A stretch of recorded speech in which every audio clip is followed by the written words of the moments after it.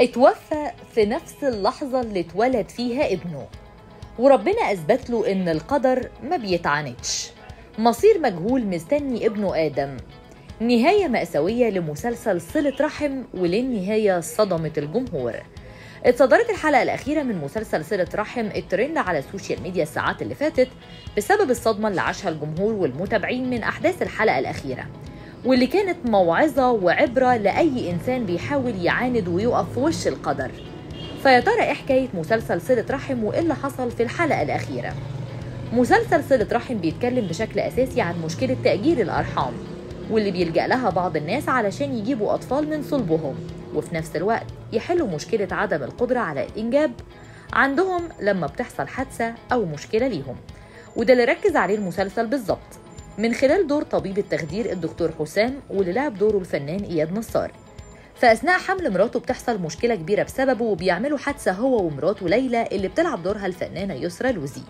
فبيتوفى ابنها وهو في بطنها وبيلجأ الدكاترة يشيلوا رحم ليلى علشان ينقذوها من الموت. وبيعيش حسام بعقدة الذنب إنه حرم ليلى تكون أم بسبب الحادثة اللي تسبب لها وهو سكران. فبيلجأ حسام لفكرة تأجير الأرحام من خلال بويضة مخصبة منه من ليلى. ويروح لحنان اللي بتلعب دورها الفنانة أسماء أبو اليزيد علشان تكون الأم الحاضنة للبويضة المخصبة أو طفل في الرحم بتاعها. وبتوافق نظير مقابل مادي ضخم هتاخده. وبيلجأ حسام إنه يعمل حاجات كتير غلط علشان يتمم الموضوع.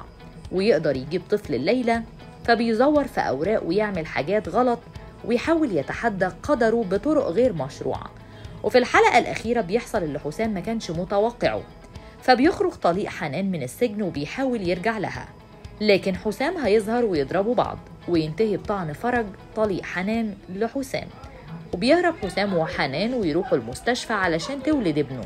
وفعلا تولد حنان لكن حسام بيموت في نفس اللحظة اللي بيتولد فيها الطفل بسبب النزيف اللي حصل له من الطعنة. وبيقول له في المشهد الأخير ليهم مع بعض أبوك مش وحش أنا ضحيت بكل حاجة في الدنيا علشان تكون موجود فيها. وبيتوفى حسام.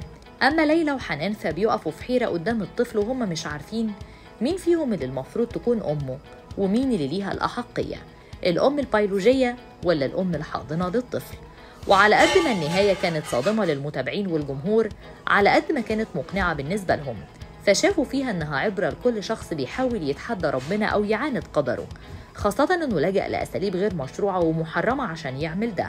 وكان مصيره في النهاية إنه توفى وملحقش يفرح بابنه اللي جه الدنيا في نفس اليوم اللي توفى فيه وبيكون ده عقابه على كل أفعاله أما مصير الطفل آدم فبيسيب المخرج النهاية مفتوحة لخيال المشاهد فتفتكروا مصير الطفل ده هيكون إيه يا ترى؟